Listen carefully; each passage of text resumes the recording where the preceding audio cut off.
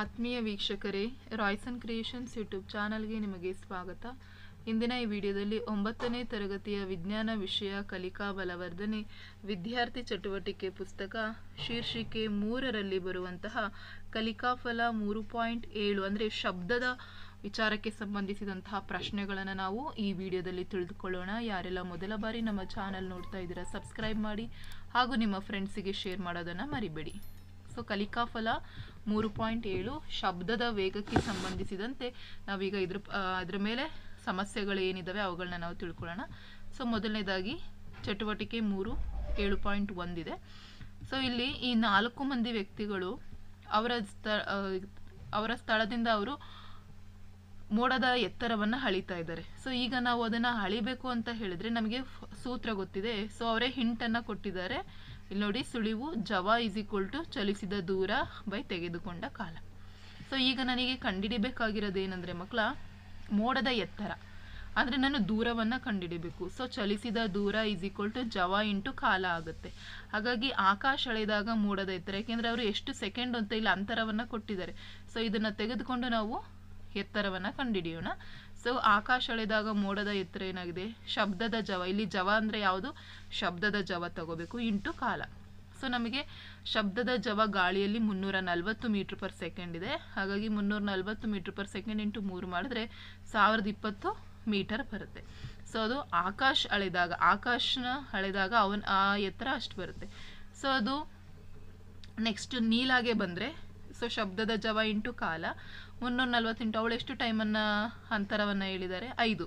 So ಹಾಗಾಗಿ ಸಾವಿರದ ಏಳ್ನೂರು ಮೀಟರ್. ಸೊ ಹಾಗಾಗಿ ನೀಲಾಳ ಪ್ರಕಾರ ಎಷ್ಟು ಎತ್ತರದಲ್ಲಿದೆ? ಆಕಾಶ, ಮೋಡಗಳು ಎಷ್ಟು ಎತ್ತರದಲ್ಲಿದ್ದಾವೆ? ಸಾವಿರದ ಏಳ್ನೂರು ಮೀಟರ್. ನೆಕ್ಸ್ಟ್ ಸುಮತಿಯ ಪ್ರಕಾರ ಮುನ್ನೂರ ನಲ್ವತ್ತು ಇಂಟು ಎಷ್ಟು ಸೆಕೆಂಡು? ಹನ್ನೊಂದು. ಹಾಗಾಗಿ ಮೂರು ಸಾವಿರದ ಏಳ್ನೂರು ಮೀಟರ್ ನೆಕ್ಸ್ಟ್ ಲಾಸ್ಟಿಗೆ ಬರುವಂಥದ್ದು ಸಂತೋಷ್. ಸೊ ಅವನು ಎಷ್ಟು ಟೈಮನ್ನು ತೆಗೆದುಕೊಂಡಿದ್ದಾನೆ? ಇನ್ನು ಇಪ್ಪತ್ತೆರಡು ಟೈಮ್ ಅಂತ ಹೇಳಿ, ಈ ಸೆಕೆಂಡ್ ಅಂತ ಹೇಳಿದ್ದಾನೆ. ಹಾಗಾಗಿ ಸಂತೋಷ್ ಮೂವತ್, ಮುನ್ನೂರ ನಲ್ವತ್ತು ಇಂಟು ಇಪ್ಪತ್ತೆರಡು ಮಾಡಿದ್ರೆ ಏಳು ಸಾವಿರದ ನಾಲ್ನೂರ ಎಂಬತ್ತು ಮೀಟರ್. ಹಾಗಾಗಿ ಈ ನಾಲ್ಕು ಮಂದಿಯ ಪ್ರಕಾರ ಮೋಡದ ಎತ್ತರ ಏನಾಗಿದೆ? ಬೇರೆ ಬೇರೆ ಆಗಿದೆ. ನೆಕ್ಸ್ಟ್ ಚಟುವಟಿಕೆ ಮೂರು, ಏಳು ಪಾಯಿಂಟ್ ಎರಡು. ಪೆಸಿಫಿಕ್ ಸಾಗರದಲ್ಲಿರುವ ಮರಿಯಾನಾ ಟ್ರಂಚ್ನ ಆಳವು ಹನ್ನೊಂದು ಕಿಲೋಮೀಟರ್ ಇದೆ ಎಂದು ವಿಜ್ಞಾನಿಗಳು ಅಂದಾಜಿಸಿದ್ದಾರೆ. ಸಮುದ್ರದ ಆಳವನ್ನು ಅಳೆಯಲು ಬಳಸುವ ಶಬ್ದದ ಜವ ಸಾವಿರದ ಐನೂರ ಮೂವತ್ತೊಂದು ಕಿಲೋಮೀಟರ್ ಪರ್ ಸೆಕೆಂಡ್.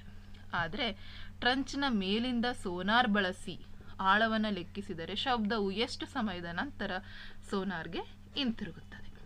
ಸೊ ಈಗ ನಮ್ಗೆ ಏನೇನು ಕೊಟ್ಟಿದ್ದಾರೆ? ದತ್ತಾಂಶಗಳು ಬರ್ಕೊಳ್ಳೋಣ. ಶಬ್ದದ ಜವ ಕೊಟ್ಟಿದ್ದಾರೆ. ಸಾವಿರದ ಐನೂರ ಮೂವತ್ತೊಂದು ಮೀ ಕಿಲೋಮೀಟರ್ ಪರ್ ಸೆಕೆಂಡ್. ಸೊ ಇಲ್ಲಿ ಸೆಕೆಂಡ್ ಕೊಟ್ಟಿರೋದ್ರಿಂದ ಎಲ್ಲವನ್ನು ಮೀಟರ್ ಪರ್ ಸೆಕೆಂಡಿಗೆ ಕನ್ವರ್ಟ್ ಮಾಡ್ಕೊಳ್ಳೋಣ. ಸೊ ಸಾವಿರದ ಐನೂರ ಮೂವತ್ತೊಂದು ಇಂಟು ತೌಸಂಡ್ ಮಾಡಿದ್ರೆ ನಮಗೆ ಎಷ್ಟು ಬರ್ತದೆ? ಹದಿನೈದು ಲಕ್ಷದ ಮೂವತ್ತೊಂದು ಸಾವಿರ ಮೀಟರ್ ಪರ್ ಸೆಕೆಂಡ್. ಅದೇ ರೀತಿ ಆಳವನ್ನು ಅಂದರೆ ದೂರವನ್ನು ಕೊಟ್ಟಿದ್ದಾರೆ ಹನ್ನೊಂದು ಕಿಲೋಮೀಟರ್. ಹಾಗಾಗಿ ಮೇಲಿಂದ ಕೆಳಗಡೆ ಹೋಗಿ ಮತ್ತೆ ವಾಪಸ್ ಮೇಲ್ ಬರಬೇಕು. ಹಾಗಾಗಿ ಟೂ ಆ್ಯಂಡ್ ಫ್ರೋ ಎರಡನ್ನ ಕೌಂಟ್ ಮಾಡಬೇಕು. ಬರೀ ನಾವು ದೂರ ಆಳ ಕೊಟ್ಟಿದ್ದಾರೆ. ಆಳ ಹನ್ನೊಂದು. ಹಿಂಗೆ ಹೋಗಿ ವಾಪಸ್ ಬರೋದ್ರಿಂದ ಹನ್ನೊಂದು ಪ್ಲಸ್ ಹನ್ನೊಂದು ಮಾಡಲೇಬೇಕಾಗುತ್ತೆ ಹಾಗಾಗಿ ಇಪ್ಪತ್ತೆರಡು ಕಿಲೋಮೀಟರ್ ಆಗುತ್ತೆ. ಸೊ ಅದನ್ನು ನಾವು ಮೀಟ್ರಿಗೆ ಕನ್ವರ್ಟ್ ಮಾಡಿದರೆ ಇಪ್ಪತ್ತೆರಡು ಸಾವಿರ ಮೀಟರ್ ಆಗುತ್ತೆ.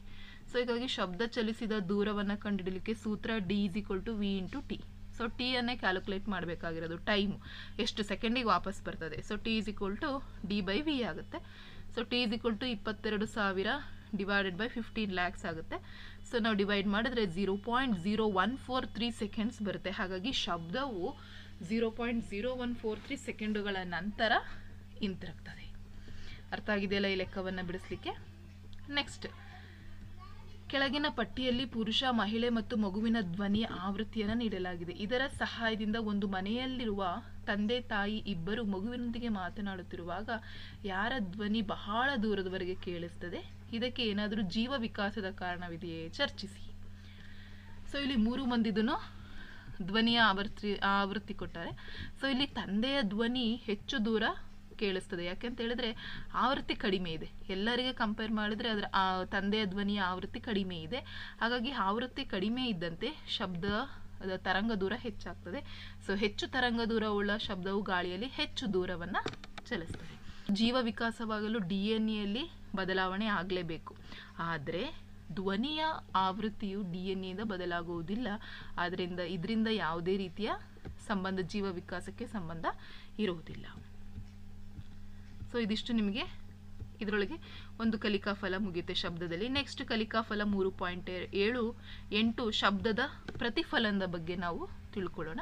ಸೊ ಇಲ್ಲೊಂದು ಚಿತ್ರ ಕಾಣಿಸ್ತಾ ಇದೆ ನೋಡಿ ಮಕ್ಕಳ. ಇದನ್ನು ನಾವು ಸ್ಟೆಥಸ್ಕೋಪ್ ಅಂತ ಹೇಳ್ತೀವಿ. ಡಾಕ್ಟರ್ ಹತ್ರ ಹೋದಾಗ ಇದನ್ನು ನೋಡೇ ನೋಡ್ತೀವಿ. ಡಾಕ್ಟರ್ ನಮ್ಮ ಹಾರ್ಟ್ ಬೀಟ್ಸನ್ನು ಚೆಕ್ ಮಾಡಲಿಕ್ಕೆ ಬಳಸ್ತಾರೆ. ಸೊ ಈ ಉಪಕರಣದ ಹೆಸರು ಸ್ಟೆಥಸ್ಕೋಪ್ ಸೊ ಇಲ್ಲಿ ರೋಗಿಯ ಶ್ವಾಸಕೋಶದ ಶಬ್ದ ಅಥವಾ ಹೃದಯ ಬಡಿತ ಶಬ್ದವು ಗುಣಿತ ಪ್ರತಿಫಲನ ಹೊಂದಿ ವೈದ್ಯರಿಗೆ ಜೋರಾಗಿ ಕೇಳಿಸ್ತದೆ.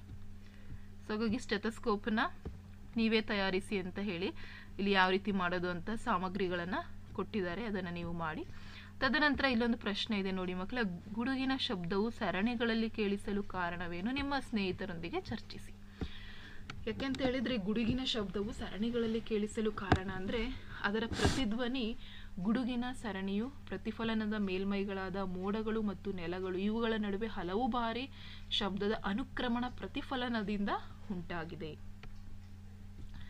ಖಾಲಿ ಕಟ್ಟಡಗಳಲ್ಲಿ ಶಬ್ದವು ಅಸ್ಪಷ್ಟವಾಗಿ ಕೇಳಲು ಅಥವಾ ಅನುರರಣೆಗೊಳ್ಳಲು ಕಾರಣವೇನು? ಚರ್ಚಿಸಿ. ಸೊ, ಖಾಲಿ ಕಟ್ಟಡಗಳಲ್ಲಿ ಶಬ್ದ ಉಂಟಾದಾಗ ಶ, ಉಂಟಾದಂತಹ ಶಬ್ದವು ಅದರ ಗೋಡೆಗಳಿಂದ ಮೇಲೆ ಪ್ರತಿಫಲನಗೊಂಡು ಕೇಳಲು ಸಾಧ್ಯವಾಗದಿರುವಷ್ಟರವರೆಗೆ ಕಡಿಮೆಯಾಗುತ್ತಾ ಮುಂದುವರಿಯುತ್ತದೆ. ನೆಕ್ಸ್ಟ್ ಮುಂದಿನ ಚಟುವಟಿಕೆ ನೋಡೋಣ. ಇಲ್ಲಿ ಕೆಳಗೊಂದಷ್ಟು ಶ, ಚಿತ್ರಗಳನ್ನು ಕೊಟ್ಟಿದ್ದಾರೆ. ಶಬ್ದದ ಪ್ರತಿಫಲನಕ್ಕೆ ಸಂಬಂಧಿಸಿದಂತೆ ಅವುಗಳ ಬಗ್ಗೆ ಚರ್ಚಿಸಿ ಅಂತ ಹೇಳಿ ಕೊಟ್ಟಿದ್ದಾರೆ. ಮೊದಲನೇದು. ಸೊ ಇಲ್ಲಿ ನಮಗೊಂದು ಅಲ್ಟ್ರಾ ಸೌಂಡ್ ಸ್ಕ್ಯಾನಿಂಗ್ ಅಂದರೆ ಶ್ರವಣಾತೀತ ಸ್ಕ್ಯಾನರ್ ಚಿತ್ರವನ್ನು ಇದೆ. ಓಕೆನಾ ಸೊ ಇದು ಏನು ಮಾಡುತ್ತೆ ಅಂದರೆ ಮಾನವನ ಒಳ ಅಂಗಾಂಗಗಳ ಚಿತ್ರಣಗಳನ್ನು ಶ್ರವಣಾತೀತ ತರಂಗಗಳನ್ನು ಉಪಯೋಗಿಸಿ ಶ್ರವಣಾತೀತ ಸ್ಕ್ಯಾನರ್ನಿಂದ ಪಡೆಯಬಹುದು. ಸೊ ಇಲ್ಲಿ ತೋರಿಸಿರೋದು ಇದು ಒಂದು ಮಗುವಿನ ಭ್ರೂಣದ ಚಿತ್ರವಾಗಿದೆ. ತಾಯಿಯ ಗರ್ಭದಲ್ಲಿದ್ದಾಗ ಇರುವಂತಹ ಚಿತ್ರ ಅದು. ನೆಕ್ಸ್ಟ್ ಇದು ನಮಗೆ ಈ ಚಿತ್ರ ನೋಡಿದ್ರೆ ಗೊತ್ತಾಗುತ್ತೆ, ಇದು ವಿಶ್ವ ಪ್ರಸಿದ್ಧ ಗೋಳಗೊಮ್ಮಟವಾಗಿದೆ ಸೊ ಇಲ್ಲಿರುವಂತಹ ಪಿಸುಗುಟ್ಟುವ ಗ್ಯಾಲರಿಯಲ್ಲಿ ಒಮ್ಮೆ ಕೂಗಿದರೆ ಕನಿಷ್ಠ ಏಳು ಬಾರಿ ಪ್ರತಿ ಕೇಳಿಸ್ತದೆ. ಇದಕ್ಕೆ ಕಾರಣ ಶಬ್ದದ ಸತತ ಪ್ರತಿಫಲನವೇ ಆಗಿದೆ. ನೆಕ್ಸ್ಟ್ ಇದೊಂದು ಸಭಾಭವನವಾಗಿದೆ. ಇಲ್ಲಿ ಶಬ್ದವು ಪ್ರತಿಫಲನಗೊಂಡು ಎಲ್ಲ ಮೂಲೆಗಳಿಗೂ ತಲುಪುವಂತೆ ಮಾಡಲು ಮೇಲ್ಛಾವಣಿಯನ್ನು ವಕ್ರವಾಗಿ ಕಟ್ಟಲಾಗಿದೆ. ಸೊ ಇದಿಷ್ಟು ಅರ್ಥ ಆಗಿದೆಯಲ್ಲ ಇದಿಷ್ಟು ನಿಮಗೆ ಶೀರ್ಷಿಕೆ ಮೂರರಲ್ಲಿ ಬರುವಂತಹ ಕೊನೆಯ ಒಂದು ಕಾನ್ಸೆಪ್ಟ್ ಶಬ್ದದ ಮೇಲೆ ಬರುವ ಎರಡೂ ಕಲಿಕಾ ಫಲಗಳ ಉತ್ತರಗಳು. ಇದಿಷ್ಟು ನಿಮಗೆ ಮೂರ್ ಮೂರನೇ ಶೀರ್ಷಿಕೆ ಕಂಪ್ಲೀಟ್ ಆಗುತ್ತೆ. ನೆಕ್ಸ್ಟ್ ನನ್ನ ವಿಡಿಯೋದಲ್ಲಿ ನಾಲ್ಕನೇ ಶೀರ್ಷಿಕೆಯನ್ನು ಅವುಗಳ ಉತ್ತರದೊಂದಿಗೆ ನಿಮ್ಮ ಜೊತೆ ಎಕ್ಸ್ಪ್ಲೈನ್ ಮಾಡ್ತೀನಿ ಅಂತ ಹೇಳ್ತಾ ಈ ವಿಡಿಯೋನ ಇಲ್ಲಿಗೆ ಎಂಡ್ ಮಾಡ್ತಾ ಇದ್ದೀನಿ. ಹೆಚ್ಚಿನ ವಿಡಿಯೋಗಾಗಿ ರಾಯ್ಸನ್ ಕ್ರಿಯೇಷನ್ಸ್ ಯೂಟ್ಯೂಬ್ ಚಾನಲನ್ನು ಸಬ್ಸ್ಕ್ರೈಬ್ ಮಾಡಿ.